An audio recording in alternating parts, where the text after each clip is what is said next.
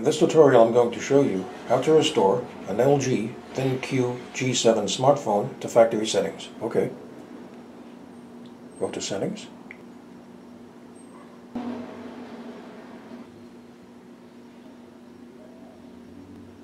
System. Restart and reset.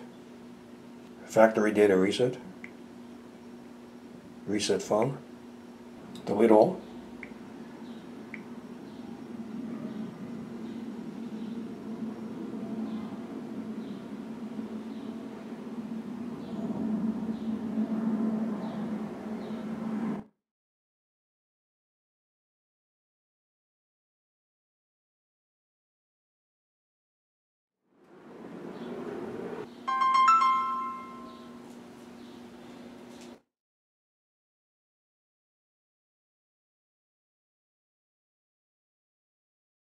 There you go, the hard reset is now complete. So I hope you found this video useful. If you have, please show your support for this channel by subscribing. Feel free to leave comments. Please like up this video, and thank you for tuning in.